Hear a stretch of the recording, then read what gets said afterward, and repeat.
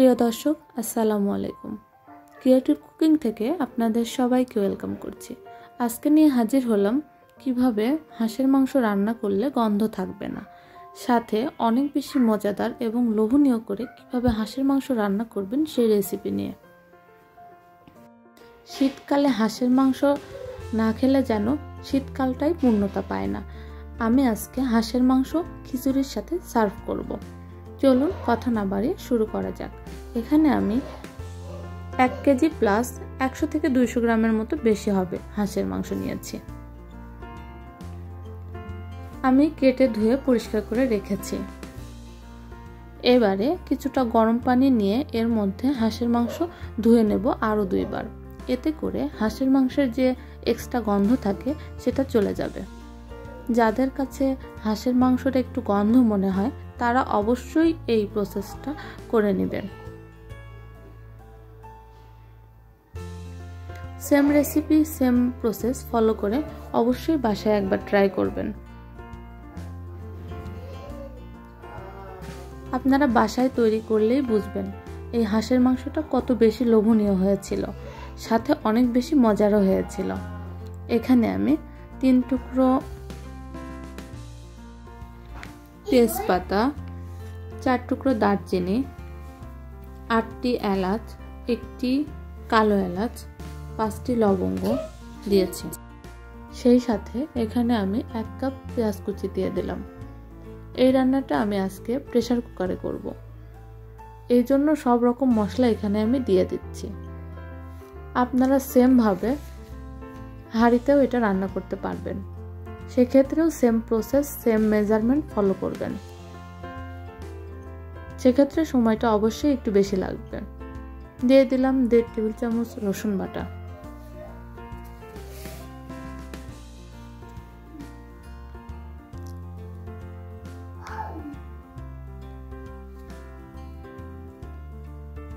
দেড় টেবিল চামচ আদা বাটা দিয়ে দিলাম।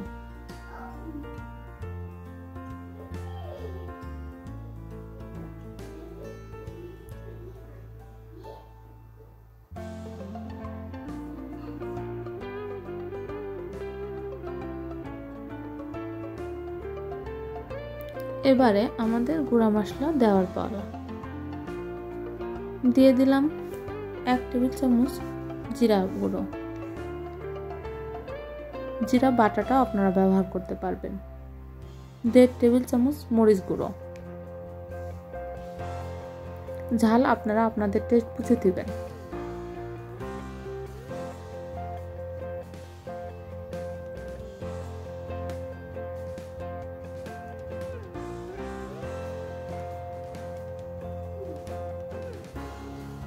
হলুদ গুঁড়ো দিয়ে দিচ্ছি এক টেবিল চামচ।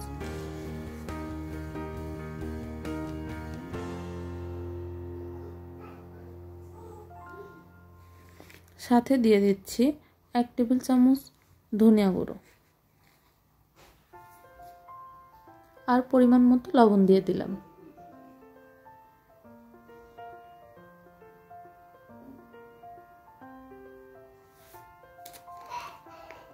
হাফ কাপ তেল দিয়ে দিলাম। আমি এখানে সরিষার তেল দিয়েছি। আপনারা যে কোনো তেল ব্যবহার করতে পারবেন। এটাকে ভালোভাবে মাখিয়ে নিয়ে প্রেশার কুকারের হাড়ের মধ্যে দিয়ে দেব।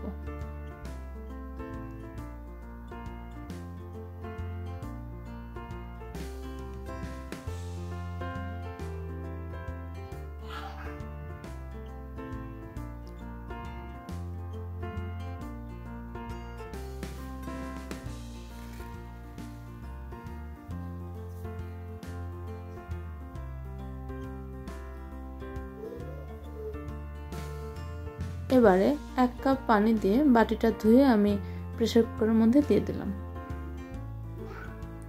প্রেশার কুকারের ঢাকনাটা ভালোভাবে লাগিয়ে নিয়ে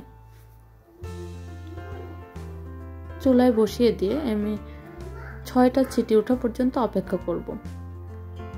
এরপরে চুলা বন্ধ করে দিয়ে প্রেশার কুকারের মধ্যে যে বাতাস থাকে সেটা আমি বের হতে দিব না। সেটা নিজে থেকেই যখন বের হয়ে যাবে তখন ঠিক আছে। এবারে চুলায় একটি প্যান বসিয়ে দিয়ে এতে দুই আড়াই টেবিল চামচের মতো তেল দিয়ে দিলাম। সাথে হাফ কাপ পেঁয়াজ কুচি দিয়ে দিলাম। পেঁয়াজগুলোকে গোল্ডেন ব্রাউন করে ভেজে নিতে হবে। প্রেশার কুকারে হাঁস রান্না করলে অনেক কম সময় লাগে। আপনারা বাসায় একবার হলেও ট্রাই করে দেখবেন। ভালো লাগলে অবশ্যই লাইক, কমেন্ট অ্যান্ড শেয়ার করবেন। আর সাবস্ক্রাইব করে অবশ্যই পাশে থাকবেন।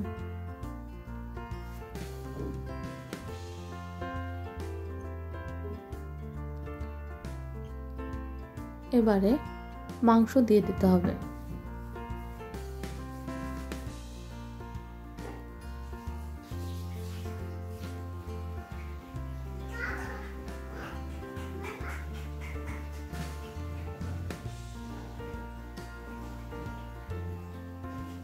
এবারে এগুলোকে নেড়ে মিশিয়ে নেব।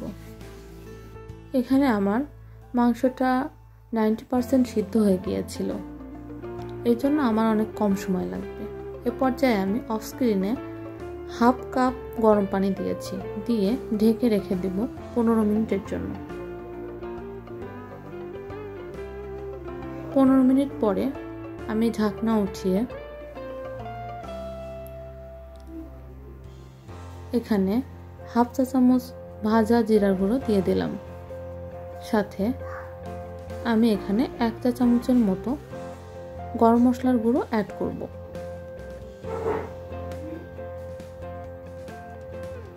এবারে নেড়ে মিশিয়ে নিয়ে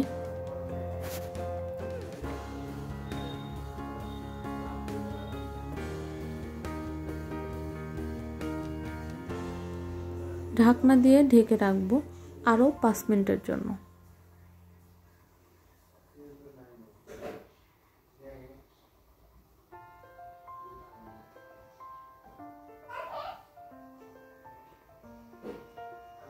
আমি আবারও বলছি, চুলার জাল কিন্তু মিডিয়াম হিটে রাখতে হবে।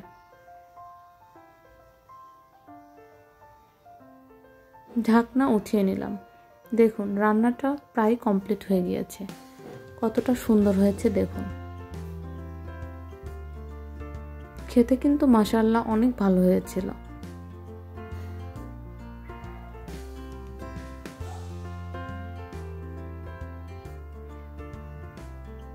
খুব ভালো মতো সিদ্ধ হয়ে গিয়েছে। আর ঝোলটাও টেনে আসছে, রান্নাটা কমপ্লিট হয়ে গিয়েছে। চলুন পরিবেশন করে দেখাই। দেখুন, রান্নাটা কতটা সুন্দর হয়েছে। আমি আজকে খিচুড়ির সাথে পরিবেশন করে দেখাবো। দেখুন দেখে কিন্তু জিভে জল এসে যাচ্ছে।